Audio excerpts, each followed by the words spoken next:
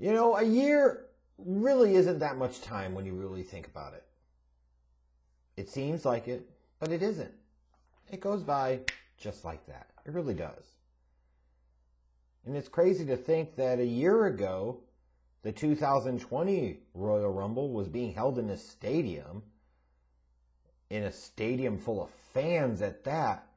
And it was the night that Edge made his return to the WWE as an active in ring competitor after almost nine years away. That was a year ago. It feels like 2020 aged us all by at least five to ten, if not more years. But yeah, that happened. And it wasn't that long ago, really.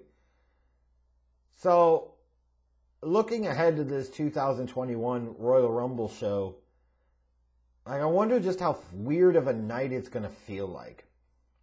WrestleMania with no fans was really, really weird. SummerSlam with no fans, weird. The other pay per views are weird. Yes, I agree. But the Royal Rumble to me is a different animal. Because the Royal Rumble, in no small part, owes its success in recent years and throughout the years to the fans in the arena getting pumped up and excited when the clock count, next countdown clock would start. 10 9 8 7 6 5 4 3 2 1 and you hear the buzzer and then you either hear crickets from the people because they don't care who came out it's a jobber somebody they don't give a crap about or you get like the oh yay or you get the yes that's my dude that's my chick or then you get the holy shit oh my god edge is back what the hell does this all mean my life is meaningful once again. I can live. I can live. You get none of that on Sunday.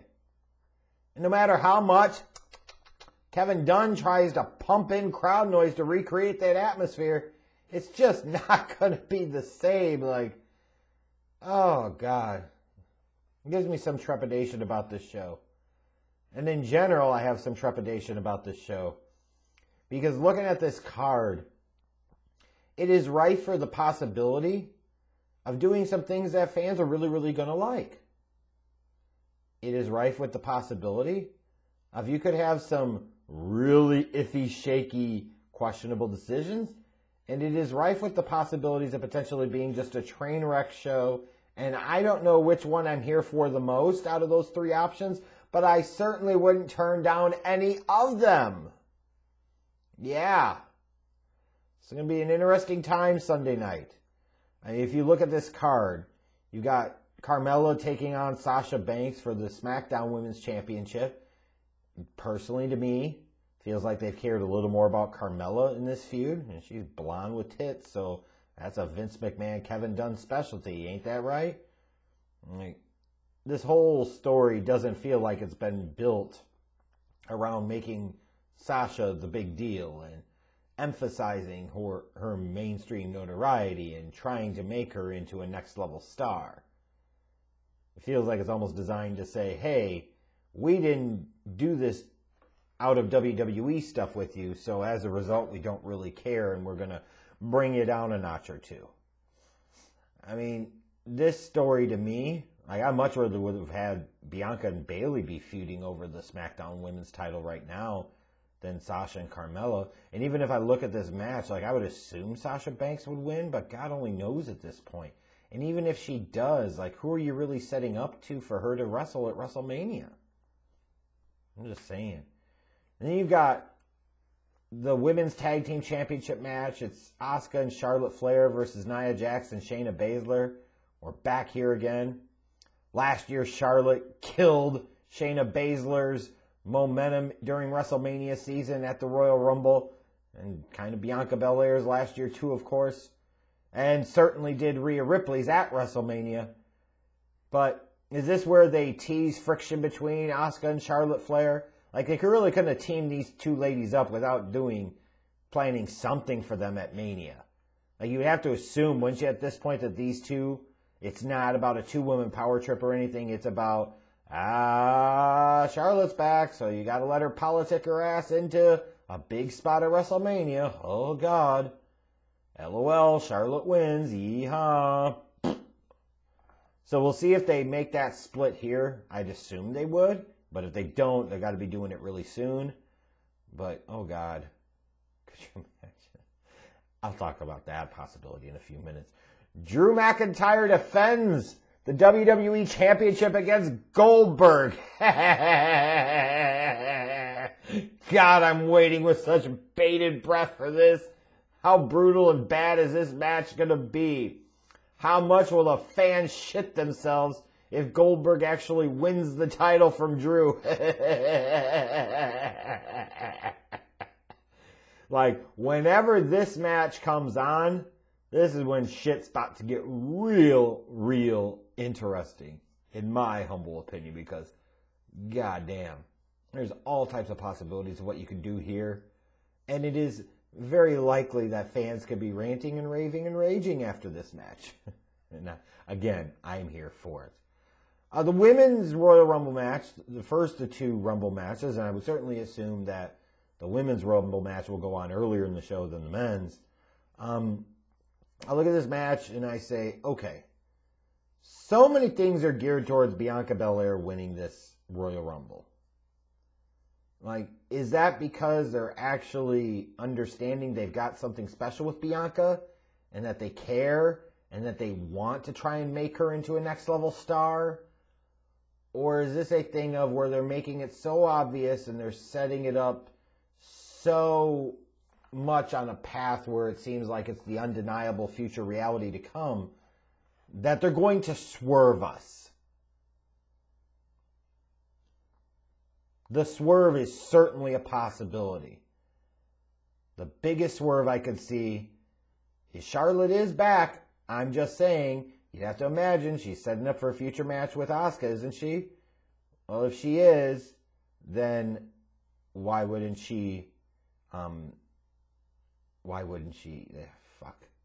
Does it even matter? Is Asuka the champ? I believe she is. Ah, who gives a fuck? Yeah, she is. That's right. That's right. Because her and Alexa Bliss wrestled on Raw Monday night. This is what happens when you record videos at 2.30 in the morning, folks, and you've been up since 6 a.m.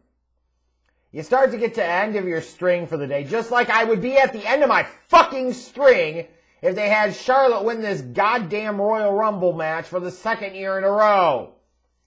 You thought the internet flamed when she did it last year. Nah, probably enough idiots that actually have lowered their standards enough where they think she's good. Ugh. Imagine if she did it this time though. Like there would be a revolt. and as pissed off as I would be, I mean, you guys know me. There's a little troll in me for sure. I love train wrecks. And it certainly would be good for my business here on this channel to be able to bitch about Charlotte a little bit more, especially if she was the one to eliminate Bianca Belair again. Woo-hoo-hoo! Sending Bianca a message about how politics are played in mayonnaise land. or in this case, in plastic land with Charlotte. Ah, fuck.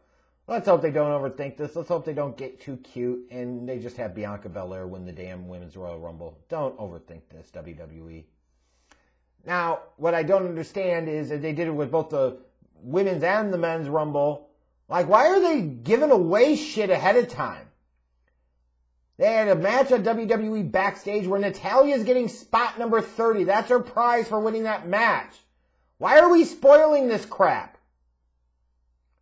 Yes, you've had storylines over the year where that's been part of it, but it was a storyline and it was part of it. Here it's just randomly thrown the fuck out there. You didn't need to do that. Why the hell are you undercutting yourself to spite yourself? The hell? And then you look at the men's Royal Rumble match, transitioning off of that one. You couldn't wait until the Rumble to bring back Braun Strowman? Like that's how shitty this is. That seems to show how little they actually care about their WWE network events. God only knows what it's going to look like in six months or a year once they're on the Peacock network. Like you brought back Braun two days before the Royal Rumble. You couldn't have fucking waited? And then they reveal that Randy Orton's going to come into the Rumble number one and Edge is coming in number two. So either mid 40s Edge is going to go on one hell of a run and last all the way to the end and win the Rumble,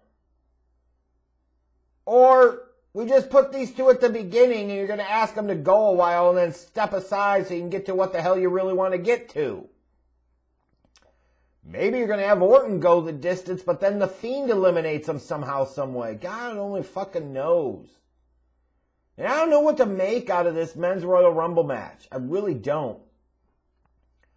Like, to me, it seems like they've been pointing at Daniel Bryan, but I've seen what people have said on Twitter about they don't feel like there's really much of a story there other than the fact that, you know, he hasn't won it, but what has he done? I don't think it's a valid comparison. Now, I've talked about the fact that with Roman and Daniel Bryan, there is potential for story, and I'm a sucker for stories. People always think that I'm a sucker for size and steroids. No, I'm a sucker for stories. That's what I love above all else. So I'm not just going to rant and rave about how Daniel Bryan is uniquely unqualified to be this year's Royal Rumble winner. If they had Daniel Bryan win this year's Royal Rumble, there's a story there with him and Roman Reigns that you could tell until WrestleMania. And most importantly of all for me, if you put Daniel Bryan in that spot, you ain't having him beat the frickin' tribal chief, so it guarantees a mania win for Roman. The head of the table. This is how it should be. And I know some of you idiots will sit there and say, you gotta culminate the journey, you gotta have Daniel motherfucker Bryan win the belt at WrestleMania. No, you don't. Not every Rumble winner has to win at WrestleMania. And I'm not sitting there and killing Roman's momentum so some of you could get your jollies off of some shit that you wish would have happened six or seven goddamn years ago. You're not going to put the belt on a guy like Daniel Bryan right now. That's dumb. And only dumbass marks would do that, which plenty of you are certainly perfectly qualified to do.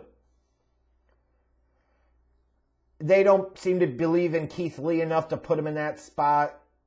Biggie's the IC champion, so you could get there but does it really feel like they're getting there? And even if you do, like you're going to send him at Roman, like I don't, I don't think that works that well, really. I mean, Roman would have to shit on him the entire time about not taking stuff seriously, and that's disrespectful. Like it can work because Roman Reigns is fucking magnificent right now, but no. Like to me, you've only really got two options to win the Royal Rumble. One is Edge, and even then, it's like you're going to have him go the entire time? But you could have Edge face off against a Drew McIntyre, and Edge is so great, he can make it work. Or you can have Edge challenge the tribal chief, the head of the table, bring his ass to SmackDown. Hells yeah, I'm on board for that. And we could get one hell of a story between Edge and Roman Reigns heading into WrestleMania. Like, if you can't see that and you're in the WWE, you're fucking insane especially Edge coming back off of the injury. There's all types of story making potential right there. So they probably won't do that. The only other option you have is Brock Lesnar. Yeah, I threw that name out there. You know I'm no big Brock guy, but shit, either way you've got a story where you could have him go after Drew McIntyre. This is the guy that eliminated me in the Royal Rumble last year and this is the guy that I fucking lost the title to and all this crap. And you know what? You can say, you can make that work. And God knows Raw needs a boost. Or if you want to go really playing with the big boys and Fox gets its way, you bring in Brock Lesnar to challenge Roman Reigns and you say, oh, we're doing that crap again. The dynamics have changed significantly here. Significantly. Now Roman's the baby face with Paul Heyman. Now Brock's wondering what the hell's going on.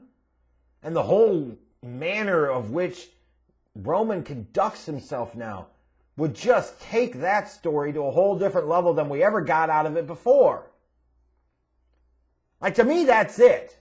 The women's rumble, don't be stupid. It should be Bianca Belair. End of discussion. The men's Royal Rumble winner should either be Edge or Brock Lesnar because that's where the best potential stories are going to be. Now, if it ends up being somebody like a Daniel Bryan, I will poke fun at some of you guys, but that's out of my heart, out of love. but I won't bury it like maybe some others do. I think it's kind of foolish. I think it's a waste of a Rumble win spot personally. And I agree that the story there in and of itself is kind of flimsy as the justification to have a win. I think there's more story once you would send him towards Roman. But I like the thought of with Edge, you could send him at either champion. With Brock, you could send him at either champion. You could have him appear on both shows. You could leave it up in the air a little while. Well, Danny Bryan is pretty cut and dry. If he wins, you know who he's challenging. Predictable is not always bad, but you know, for a company that really needs some spontaneity right now, I would like to see some spontaneity right now. I know there was somebody, I can't remember who it is, and I apologize for getting who it was, that tweeted about a source said that there have been some different finishes bandied about for the Royal Rumble and they scare them. One of them has them scared to death. You know, which makes me wonder if it's something related to the Fiend, thinking about it from a literal standpoint or a figurative standpoint of they're going to have freaking Goldberg lose, but then go in and win the Royal Rumble. oh, God. I want something juicy to come out of this Rumble show on Sunday night. And hopefully it comes out of one of these two Rumble matches. Where it better not come out of, though, is this last man standing match for the Universal Championship. This is how you do business. You let these guys go out there. Main event, main event of the pay-per-view. Let them go 20 to 30 minutes and Roman wins.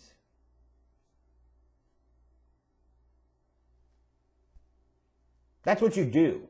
It's the only option. You're not taking the belt off of Roman, nor should you take the belt off of Roman. And could you imagine entertaining the thought of taking the belt off of Roman right now for Kevin fucking Owens? Nah, I'm good. Owens is a guy that can dance with the guy that can do some business, but I'm not putting the belt on Kevin Owens, especially heading into WrestleMania. Hell with that. Ugh. I just wonder if they'll be able to top their other matches that they had. This is a lot of pressure, as they've had a couple really good ones. The chemistry between these two guys is really, really good. The story they've told in both of their featured matches have been outstanding. So there is a lot of pressure here to really, really deliver in this match. And I expect them to be able to do so. So I think Roman versus KO is going to be great. I can't wait to see how Drew and Goldberg is put together. I'm sure for Sasha Banks and Carmella, so many of you Sasha stands are going to sit there and pump pump up her match as being great, even if it's not. I don't know what to expect out of it. Um, but, oh man. Oh, God. Oh, God. Please let Goldberg win. Please let Brock Lesnar come back and win. That way, either Brock's challenging Goldberg or he's challenging Roman. and no, don't please have Charlotte win. But if you do, I'll be ready with guns blazing. But it's Bianca Belair's time. The momentum is there. You have featured her as a clear and present option as a favorite for the Rumble, so do it. Don't get too damn cute here. You guys tell me, what do you expect to see out of the Royal Rumble Sunday night? Who are your picks to win the men's and women's Royal Rumble matches? Do we get any big surprises? Is Goldberg actually going to go over on Drew McIntyre? The possibilities are endless, so tell me in the comments.